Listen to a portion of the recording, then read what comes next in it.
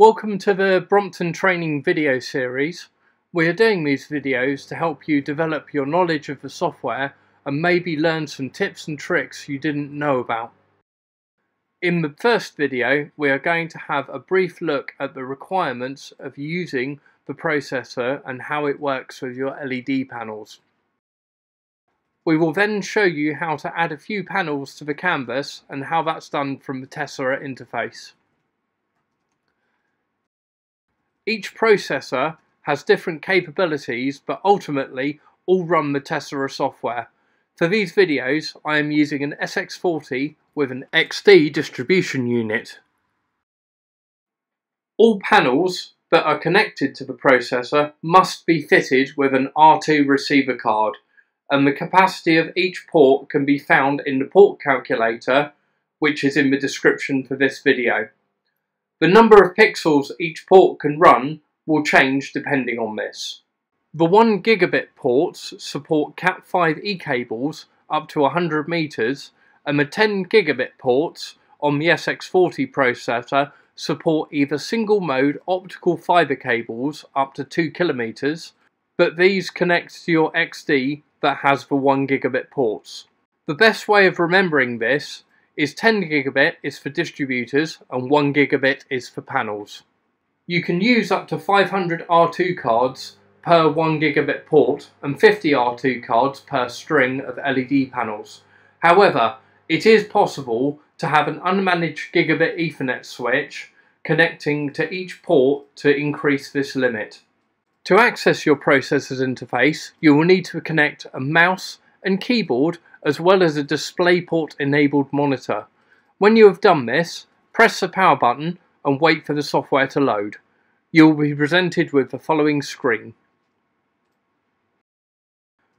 The first thing to do when setting up your processor and screen is to define the canvas. Select the canvas size. This is usually your video input resolution for now, make sure you are not using any of the port redundancy options. We will come to that later. When finished, press the Create button.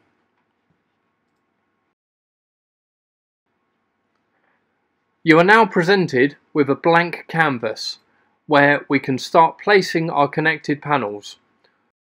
Before we start dragging our LED panels onto our canvas, we want to check whether there are any problems between the processor and the panels. Press the Online button to check whether the processor is detecting the panels. Problems can arise from panels having incorrect firmware or a different calibration loaded or simply a connection error to the port. From here you can select a panel with a problem and press the beacon button to identify where it is in your LED wall. We will look at more features in the online section in a later video, so click back to the canvas view. There are two ways to add panels to the canvas.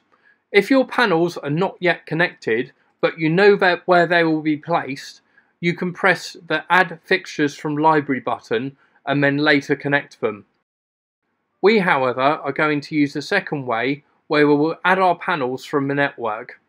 Click the Add from Network button located next to it. Once you have clicked Add, you will notice that your panels will change colour representing each string of panels connected, just like the screenshot.